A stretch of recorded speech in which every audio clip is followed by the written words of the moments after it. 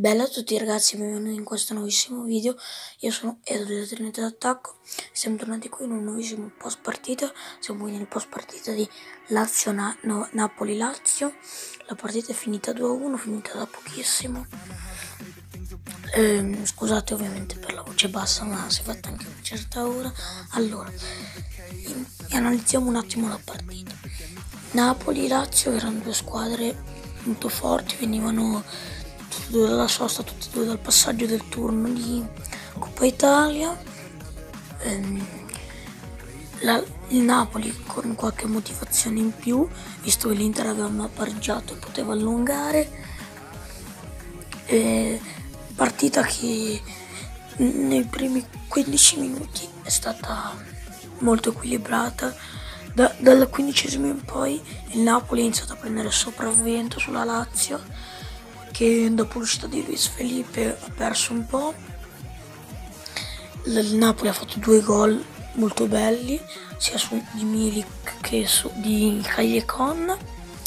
Ehm, due bellissimi gol, niente da dire.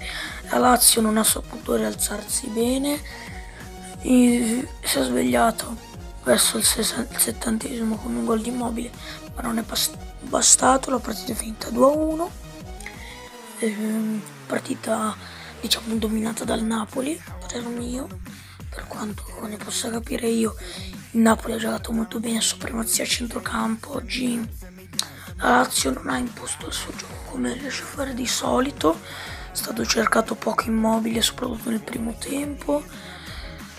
Mm, rosso anche per Acerbi che ha fatto due falli, anche se secondo me nessuno dei due meritava il giallo, però preso due gialli rosso.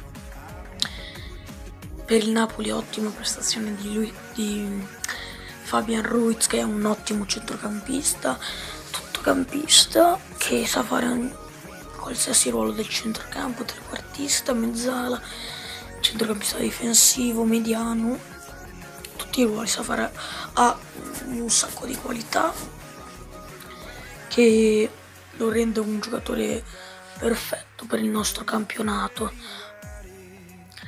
Allora, quindi partita mm, tutto sommato divertente, belle giocate sia da una parte che dall'altra.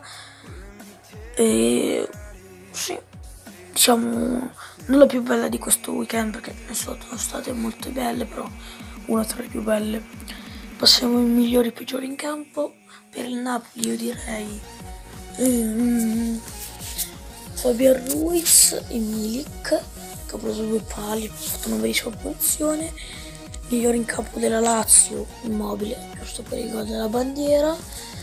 Peggiori in campo per la Lazio sicuramente Acerbi che è stato espulso, mentre per il Napoli nessuno ha giocato particolarmente male, forse Mertens è stato abbastanza in ombra.